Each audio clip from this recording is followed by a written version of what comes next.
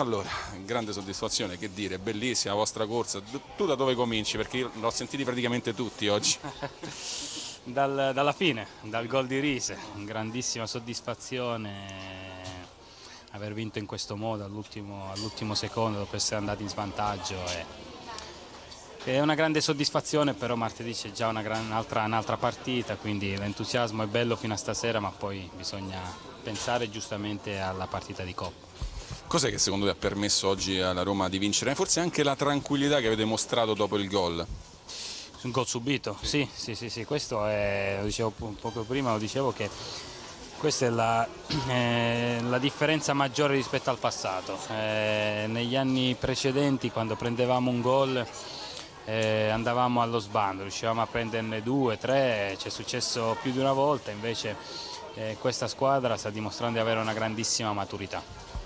Sembrava di giocare in casa oggi perché il pubblico di Roma è stato veramente straordinario, uno spicchio fantastico, hanno cantato per 90 minuti e, e oltre. Sì, sì, è stato bello, poi aver fatto gol lì sotto, sotto di loro è stato, è stato bello. Di questo giocatore che ha sempre meno del norvegese, sempre più del romano, no? ha detto, il mister ha detto è un furbo, John lo conosco molto, grande professionista, ragazzo serio, ma è uno che fa spogliatoio. Sì, sì, sì, è vero, è vero. Ha avuto anche lui un, un inizio di, di avventura romana un po' difficile, però quest'anno sta uscendo alla grande, è un giocatore eccezionale, un giocatore di spinta, è migliorato anche tanto in, a livello difensivo e poi è uno, uno di spogliatoio, uno spiritoso, quindi una bella persona. Simone, dove deve guardare adesso la Roma?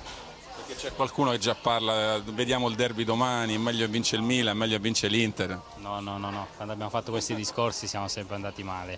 Bisogna continuare con questa mentalità di partita in partita e, e- e secondo me ci toglieremo delle belle soddisfazioni, però non, fare, non andare oltre con, con la fantasia. Senti, Tu sei un ex, ma eh, però hai giocato qui tempo fa. Secondo te quanto se l'è goduta onestamente oggi Claudio Ranieri che davanti alle nostre telecamere ha mostrato una plomba inglese?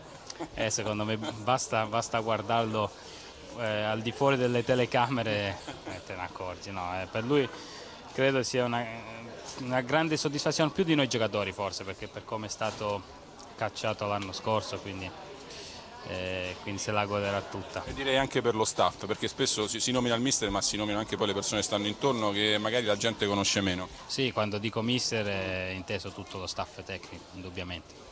Simone, con il Catania e con il Siena diventano due partite difficili proprio perché la Roma deve riconcentrarsi subito. Oggi il Catania ha vinto 3-0, una squadra che sembra aver acquisito anche una certa solidità.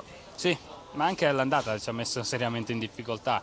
È una squadra che, che gioca bene, giocava bene anche quando perdeva, però con Mihailovic ha, ha acquisito quella cattiveria proprio sua di quando era giocatore. E sarà una bella partita, speriamo di vedere tante persone allo stadio. Grazie, grazie a Simone Perrotta. Recuperiamo per il finale il nostro Alessio Scarchilli anche perché